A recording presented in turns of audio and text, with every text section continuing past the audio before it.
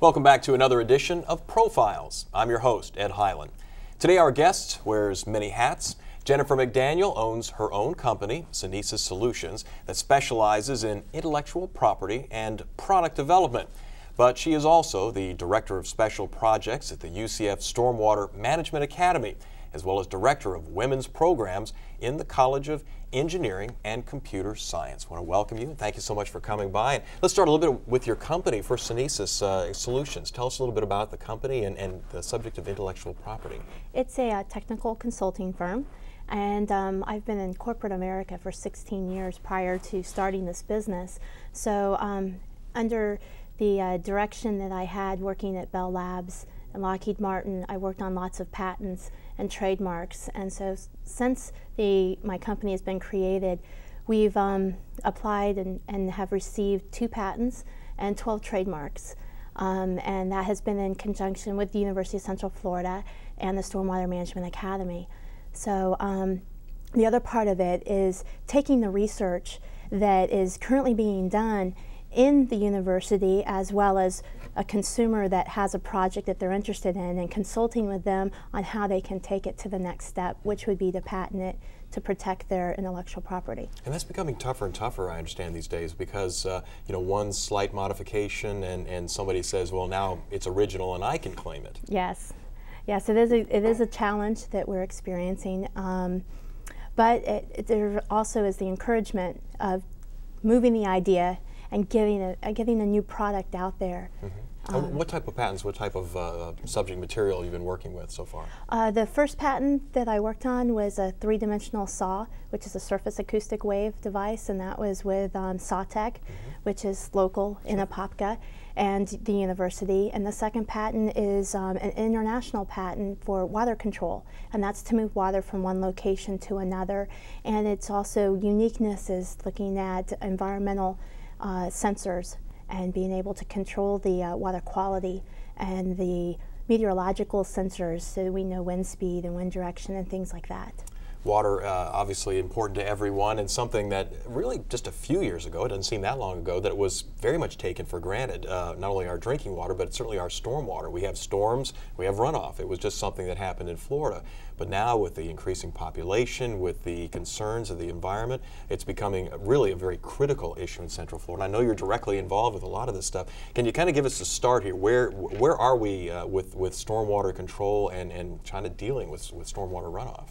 Um, in the Stormwater Academy, we've done lots of research in the area of um, what different types of water are available. There are three types of water that are available to us. Those that come from our watersheds, um, from our aquifer, which is our drinking water, uh, reclaimed water, which is treated uh, sewage water, gray water, they're all the same thing, and stormwater. That's what we're proposing as a third water supply so that um, we can use that for irrigation.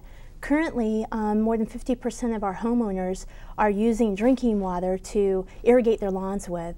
And we see with the uh, high demand for water, with our population growth, and with studies that we've done that have shown that um, the water supply is not getting back into the aquifer. Our, our spring sheds are not getting replenished as quickly because of all the development that has been going on around our spring sheds.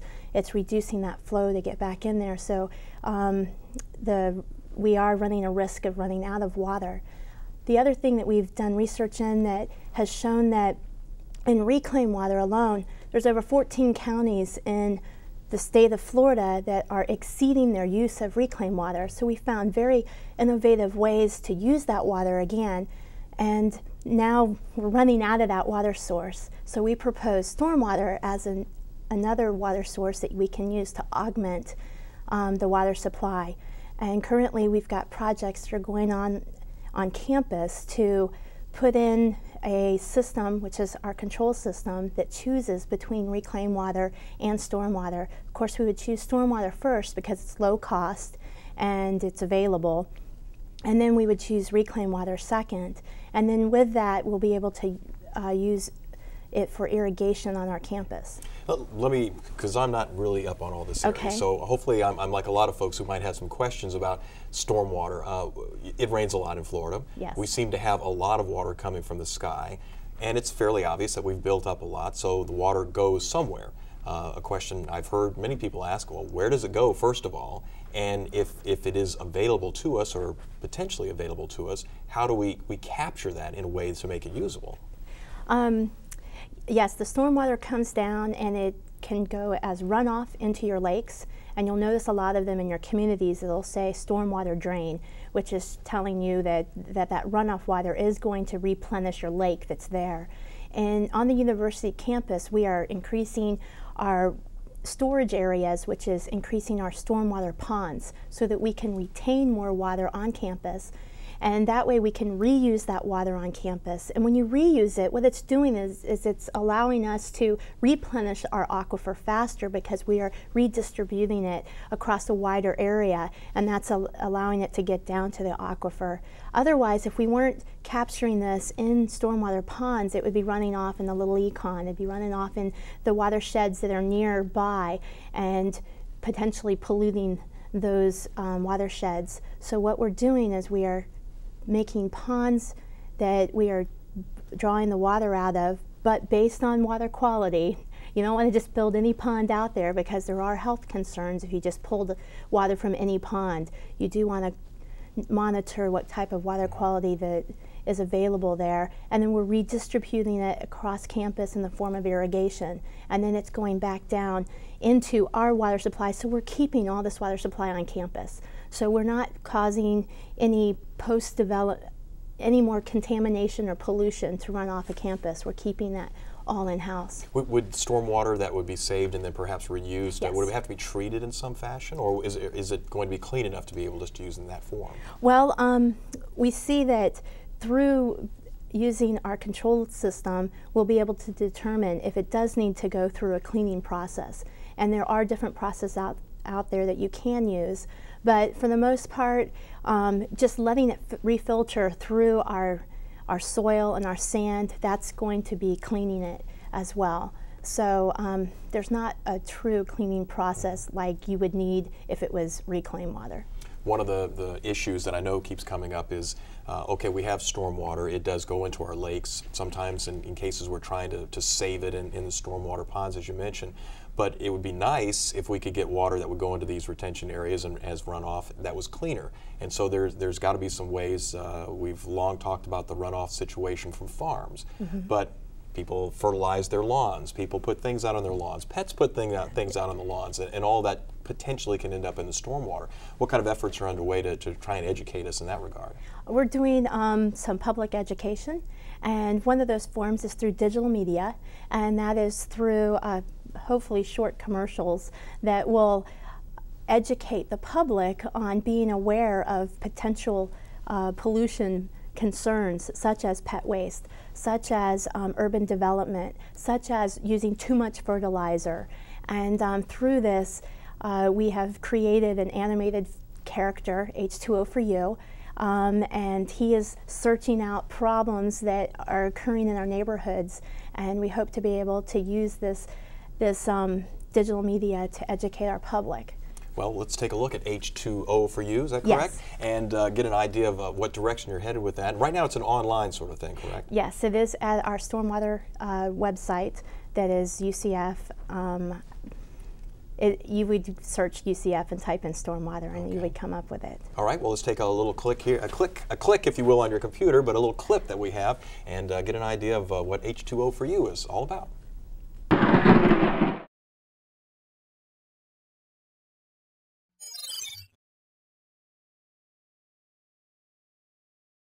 I have nothing to pick it up with. Oh well, it's just a little doggy poo, and besides, it's good fertilizer.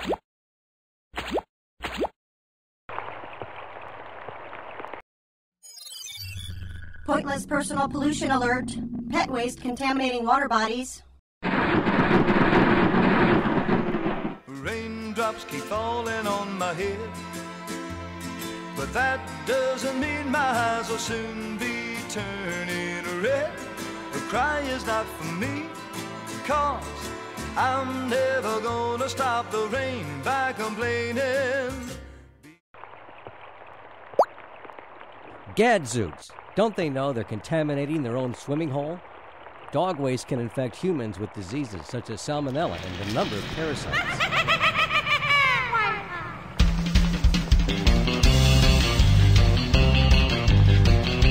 Decomposing pet waste also adds nutrients and lowers dissolved oxygen in the water column, causing fish kills. Poopy can be catastrophic when it gets into the water. This is a job for P3 Puppy, the canine crusader that teaches about pointless personal pollution.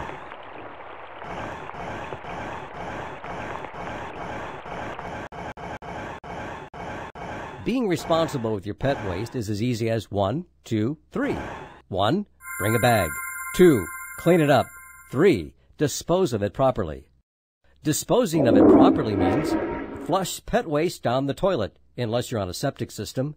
Put it in the garbage bag and put it in the trash or a park waste disposal box.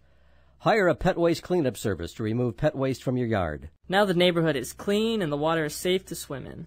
Pointless personal pollution prevented. The water is safe again. H2O for you, evaporation begin.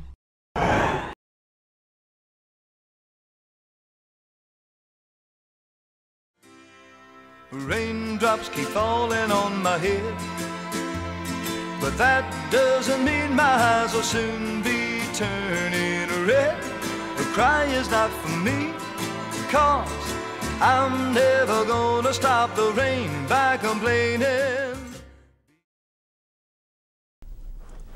Now, we, while we've got a little character, a little raindrop, if you will, that's, that's educating folks, I mean, it, it's, it's a serious subject, and it's really, it's not just aimed at kids. I mean, this is something that pretty much is a broad spectrum concern, need, and, and education process. Yes, it is. And the H2O for You uh, animated guy that you just saw, um, he's more than just an animated character. He is what we consider our seal of approval. And so what we're doing is we are testing devices um, in the academy and we are also developing new products in the Academy, like the controller. And all of these products that we recommend and we've done research behind, we're putting our H2O for You seal of approval on so that you as a consumer will know that the University of Central Florida Stormwater Management Academy has, has put a lot of research into this and they recommend this. Um, so it's not only an animated clip to help our, our children learn as well as as us learn, it's also a seal of approval and it's, it's to bring an awareness. Mm. Ideally, we would love for you to be aware of the water drop in the same type of awareness that we have today of our gasoline pumps. And we all are very sensitive to the high cost and knowing what it costs to put the gasoline in our cars, and uh, we all are very aware of that. Well, that's a the water is a natural resource that we are limited in, and we would love to have that same awareness with what you're doing with your water at your homes, what you're doing with your, your water in your lakes, and what, what we're doing to contaminate the water around, and how we can um, prevent the pointless personal pollution. In, in uh, I know in some countries, uh, uh, England, it seems to pop into my mind that they actually have two areas of the house where you have the drinking water area, and then which I believe is the kitchen, and then other facilities in the house, the restroom and others, uh, where you don't use the drinking water perhaps as much, they actually have a, a gray water or a recyclable uh, tap, if you will, and so they've been utilizing that. Another thing that, you've, that we have adopted from the European countries is green roofs. And we are building our first green roof on campus at UCF. And it's the first green roof in Central Florida. Um, it will be in the center of campus on our Student Union building. And the, the roof portion has just been finished. And we're starting to put down the media, and the plants will be arriving within the next month. And so you, you're welcome to come out and see the uh, green roof. And what that is, is it's a We've taken the top of the roof and we have added plant structure to it. And those plants are used to reduce global warming. It's because it's got evapotranspiration that's coming off of the plants. So you're releasing, instead of the, the heat that comes off of the tiles off your roof, you're now releasing the water that's coming from the plants into the atmosphere as well. Um, the green roofs are also going to reduce your energy costs um, in the building. And we've been partnering with the Florida Solar Institute at UCF and they're going to be making measurements on temperature gradients. And then we'll be able to put a study out that will tell the homeowners and the developers what type of plants we can plant in Florida since it's different than the European countries. Um, and we can tell them how much savings you're going to get the energy cost wise and uh, we can also tell what type of media and growth material we need. So this is our first prototype that's going on campus. Now, has this been used successfully? I, I know it's been used successfully for, for, some office buildings, but is it getting to the consumer level as well, as, or, or is this something that you know flat-roofed uh, buildings in a downtown, for example, might be the, the ideal medium for it? I think the first medium is with flat roofs, but there's no reason why consumers, homeowners can't have it. Um, they currently have it over in Germany and European countries. Um, green roofs are very popular in Pennsylvania. Um, in North Carolina has one. So there's other areas within the United States that we are developing more think, green roofs. You think Florida would be a natural for that because not only do we have more sun, but tends, I mean, you just throw something out on the ground and it tends to grow around here because right. we have the moisture and and and uh, you know the soil to do that. So right. it would see, why are we behind the, the, the eight ball, so to speak, in, in this area? Um, I wouldn't say it's behind. It's actually we're on the cutting edge of moving we it should be forward. First, though. If Pennsylvania's got it, we should be first. well, um, there's a lot of design um, that goes into it, and there's a lot of structure and stability, and there's a lot of research, and we're part of the, the research and, and adding to being able to bring that product to the Central Florida area. Um, one of the other H2O for You products that we've been developing is, is an automated way to keep the water supply going so it'll keep the plants alive on the roof. I was going to say, do you build a, a facility to capture stormwater, uh, somehow keep the system uh, regenerating itself?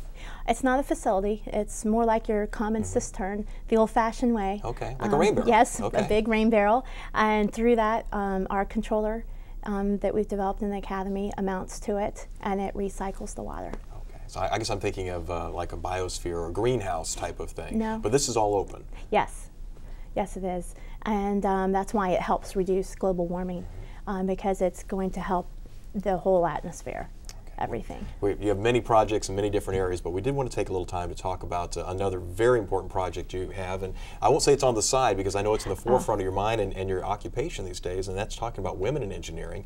Uh, we've had guests before talking about some of the differences and trying to, to encourage more young girls to get into engineering. Kind of where do we stand and, and where do you hope to, to get the magnet that's, that's going to draw these incredibly smart and talented women into, into engineering? Well, um, we just finished um, Expanding Your Horizons, which is a program we offered for fourth grade through ninth grade girls. And they came out to campus for a day. It always happens in about the March, April timeframe. So those that missed it this year, you'll have to look at our website um, and look for it next year. And what, what we're doing um, with that program is we are engaging young students, fourth through ninth grade, in hands-on activities. Um, such as making electric jewelry, such as DDR, which is Dance Dance Revolution, and we're looking at the sensors and the software uh, programming that goes into making a game.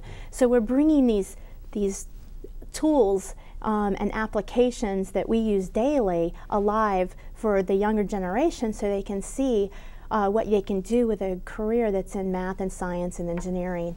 Um, there's other. We had a um, Northrop Grumman brought out uh, one of their thermal imaging cameras so that you can experience what the military are using over in Iraq. And um, we had hands-on crime scene investigations. And, and so we had 15 different workshops that were all taught by women and um, allowed the girls a hands-on approach so that they could have those light bulbs go off and, and see how fun science is and that there is a creative side to science and there's more than just doing a math problem. There is an application that's fun and, and that we currently use daily. Um, so I, I, know that I've been encouraging quite a few of my students that are interested in the nursing field that there's more to nursing than just caring for an individual. There's biomedicine that's out mm-hmm. there.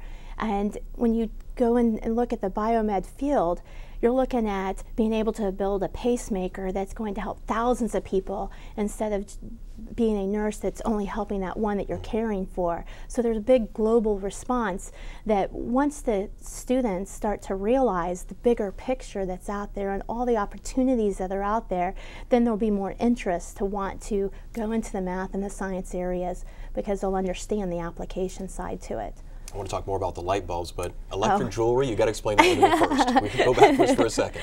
Well, my background's electrical engineering, so of course uh, we put batteries along with shrink wrap, along with LEDs and resistors, and we hung them on our ears, and So they all lit up, go, and basically. you got Okay. it. That's one It way to certainly get out and stand out in the crowd as Oh, well. definitely. But, but but I think that's a wonderful thought because you're, you're talking about things that are fun, exciting, fashion, all these kind of things. But at the same time, you see on on one simple fun level what potentially could be done on a more serious and, and certainly uh, intensive level as Yes. they, they get into higher education. Um, when you talk about higher education, one of the things that we are looking at is more recruitment and retention for women in, the, in this area because it is a projected shortfall. Um, so what we what, or what I've created is a power program, it's called Providing Our Women Engineers and Computer Scientists Resources. And what that is is a program that is for transfer students and freshman students, their first time on UCF campus. And um, what we're doing is we're bringing all those women um, into a program together and we're providing them tools for success. And these tools are like studying how, um, how, to, how to study, uh, stress management, uh, yoga, and good health. Um, so, all the tools that you need to be successful. Once you've already selected the engineering and computer science field, we're providing this resource for the students as well as scholarships and different research available um, research opportunities that are available. Matter of fact, I'm fixing to take the ladies uh, rock climbing, and so it's more of a team building exercise because there are few women. Um, we do want to increase those numbers. The best way to increase the numbers is to give a student a great experience um, while they're in college that's a big recruitment tool there in itself, sharing their knowledge with others, and at the same time allow them to become successful and to build relationships.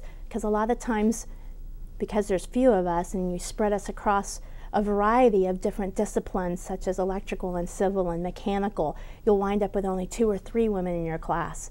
Well, bringing them together in a program like this, then you've got 255 women in a room, and then you can see that there is more power in numbers, and then you can bond together and build relationships that way. As you say, strength in numbers is always Yes. a benefit there. Have you seen some of the attitudes change? Uh, uh, I mean, you're probably too young to, to remember uh, some of the things that went on years ago, but I mean, it, it was not a field for girls. I mean, basically, it was a, oh, boys make things, boys are engineer types, girls do other things. Uh, they get into the nursing field or the medical field. And, and, and if you've seen the changes, how are you going to translate that into, into a message that will be picked up by this next generation coming up? Um, I personally have seen a lot of the changes and experienced some of them myself. Um, and if you were to go today into a classroom, and we've done this study, and we've asked the students to draw a picture of a doctor, draw a picture of an engineer, draw a picture of a nurse, you get your candid male, female, and unfortunately, when you get to the engineering, it's typically the male. Well, the only way to change that is to start the education at the younger level. Um, you've got to choose when you're in the fourth grade uh, what math and science classes you want to take, and if you want to even continue taking math and science classes. And so we need to educate them at that younger level so that they are prepared to have already taken their algebra and their geometry and their calculus so that they're not playing catch up by the time they get to the university level. They're already ready to go into that direction and become an engineer or a scientist. Is, is fourth grade too old? I mean, I started recognizing that boys were boys, girls were girls at a much earlier age than fourth grade. That's a great question, and um, yes, we are finding that, that the younger ages, um, there's a definite need to start the education younger. Um, we used to only think it was 11th and 12th grade, and we have now dropped it down to at least fourth grade, and there's lots of studies that have proven that we do need to go below that, even down to your first grade um, level. So it's a different mindset. It's an education process. It's developing curriculum that promotes females. It's developing books that shows females in these roles, games that are female friendly, and they don't picture women only in a provocative way, which unfortunately a lot of the gaming does today. Um, so it's really it's a change in culture, and the only way to start doing that is to develop products and prod- work on projects and get research and grants that allow us to develop a curriculum down at that level. Are, are you seeing some, some changes too in, in uh, the private sector since you have firsthand experience with that as well? Um, uh, companies saying, and, and not to say this in a sexist way, but there are those occasions when someone would say, I, I would like a woman's point of view on this project. And are you seeing some more of that out there? Most definitely. I'm also seeing from the corporate arena um, companies that are focusing funds that are geared towards K through 12 development. They are allowing more students to come into their companies and to do job shadowing and to do the take your daughter to work days. And um, I know that when I was at Lucent, uh, that was one of the programs that I championed to make Take Your Daughter to Work Day a female only event. Um, a lot of a lot of corporations say take your child to work day. Well, there's a reason why it's daughters, and it's because the women do at their the girls at that young level lose an interest in the math and science areas. And so you do have to reinforce that. And the best way to reinforce that is to bring them into your corporations, your high tech companies, and, and to let them meet women role models that are doing these jobs and see that it is fascinating and fun and there is more to it. We've just got a minute or two Uh-huh. left, and, and I wanted to see if, if that was being built on with any additional uh, um, uh, incentives, scholarships, this type of thing. You're starting to see some opportunities for women, for just women, to, to perhaps uh, pick up the, the, the mantle and run. Oh, definitely. There's lots of corporations that are partnering with universities that are providing research. There's lots of internships. Matter of fact, um, one of the best ways for a child to get a summer job in a company is to participate in the science fairs. The corporations are at the science fairs, they're, they're judging the science fairs, and they're looking for potential candidates to hire. And um, the best best job opportunity is to have a summer intern and um, corporations are out there looking for more women in this area We got a chance to go out to, uh, there's an egg drop competition, which is the uh, Engineering Society does locally, and it was evenly split. There were just as many boys as girls, and, and frankly, the girls are doing a whole lot better job keeping their eggs safe. Uh, they drop an egg from a, a, roughly a, a two-story uh, drop there to, to see if they can devise uh, something to protect it. Right. But uh, it, was, it was nice to see all the, the young boys and girls out there uh, creating these things. And you go, well, how many of them are going to be an engineer someday? It'd be nice to see. yes Well, Jennifer, thank you so much for coming by and joining us today and sharing uh, your insights. And uh, we'll have to have you back sometime and uh, talk you. a little bit more about uh, stormwater and all the other projects you're involved in these okay days. thank you very much And that does it for this edition of Profiles. I'm Ed Highland. Thank you so much for joining us. We'll look for you next time.